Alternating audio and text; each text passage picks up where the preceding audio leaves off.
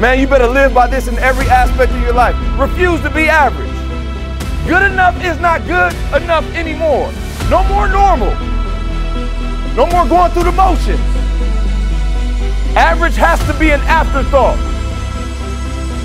You have to refuse to be average. You can't even allow average to happen on accident. You got to refuse to be average. We got to walk in excellence. We got to do our job.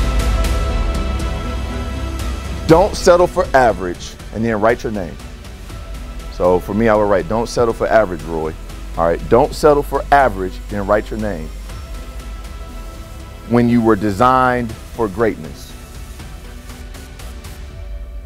You were designed for greatness, big dog. You were designed for greatness. You was designed for greatness.